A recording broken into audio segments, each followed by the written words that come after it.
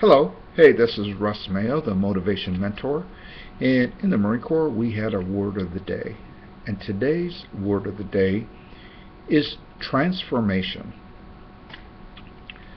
Now, transformation, um, if you um, actually look up the actual definition of transformation, it says it's the act of transforming, the state of being transformed, a marked change as in appearance, character, usually for the better.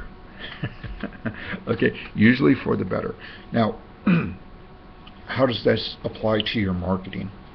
Well, I'm suggesting that you market to people who are ready to be transformed. How do you know when they're ready to be transformed? okay, for example, um, somebody that's um, just had a new child in their life. Okay? The advertising you're marketing may be to infants or to motherhood or to something like that. So you're marketing to somebody that has been transformed. That that child's life coming into their household is going to transform that family forever. Okay.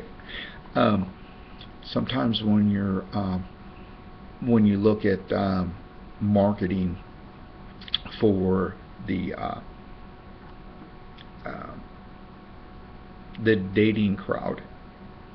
They're a lot of times are looking for a transformation in their life, and when you look at that, they uh, um, they are um, there's hundreds of websites out there, dating websites.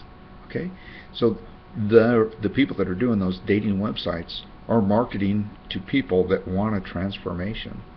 So figure out how to market, target market the people that you are looking for that are ready for a transformation in their life with what you have to offer. This is Russ Mayo, the Motivation Mentor, saying have a great day and I hope your life is has been transformed.